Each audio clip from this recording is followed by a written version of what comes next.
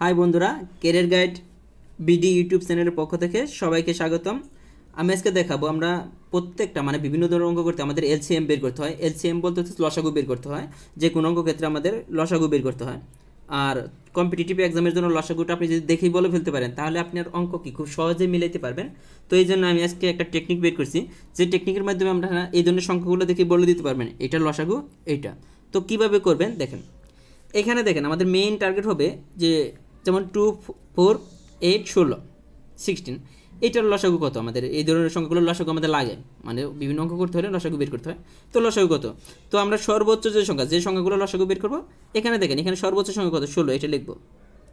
লেখার পরে দেখব যে এই প্রত্যেকটা সংখ্যা দ্বারা এটাকে বাঘ যায় কিনা। যদি বাঘ যায় তাহলে এটাই লসাগু।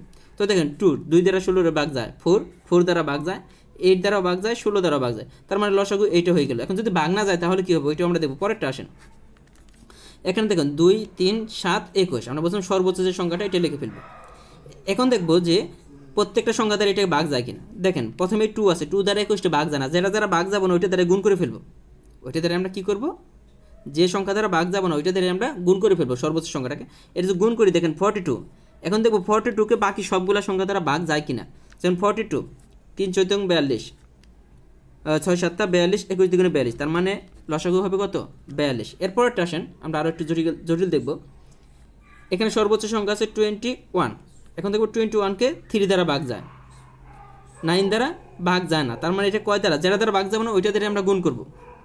দেখেন এখানে নাইন নয় দ্বিগুণ আঠারো। এখন দেখব নাইন দ্বারা ভাগ করার ফলে এটা তো করে ফেললাম নাইন দ্বারা ভাগ। তো ভাগ করার ফলে এখন দেখব একুশ দ্বারা ভাগ যায় কিনা এটাকে? দেখুন ওয়ান এইট নাইন একুশ দ্বারা যদি ভাগ করেন এটা, তিন সাতটা একুশ, তিন ছয় আঠারো, তিন তিরিকা নয়, সাত নং তেষট্টি। তার মানে একুশ দ্বারা ভাগ যায়। তার মানে আপনার লসাগু কোনটা? এইটাই হবে। এখন আসেন এইটা, যদি দেখেন টেকনিকটা বোঝার চেষ্টা করেন, মুখস্থ করার দরকার নেই। এখানে যেটা আছে, আমরা কী লিখব? সর্বোচ্চ সংখ্যাটা লিখলাম। এটাকে ত্রিশ দ্বারা ভাগ যায়, দশ দ্বারা ভাগ যায় যায়। কিন্তু বিশ দ্বারা ভাগ যায় না। তাহলে আমরা বিশ দ্বারা আমরা গুণ করব। বিশ দ্বারা গুণ করার ফলে এটার অ্যান্সার কত হচ্ছে ছয়শো। এখন দেখব এই ছয়শোকে বিশ দ্বারা তো বাঘ যায়, দশ দ্বারাও যায় ছয়শোকে। দেখেন তিরিশ দ্বারা এই ছয়শোকে বাঘ যায় কিনা? অবশ্যই বাঘ যায়, শূন্য, তিরিশ দুগুণে ষাট। তার মানে লসাগু হবে কত? ছয়শো। তো আপনারা চাইলে এইভাবে টেকনিকের মাধ্যমে যে কোনো সংখ্যার লসাগু খুব ইজিলি বের করে নিতে পারেন। এই টেকনিকগুলো জানা খুবই জরুরি, বিশেষ করে চাকরির পরীক্ষার জন্য।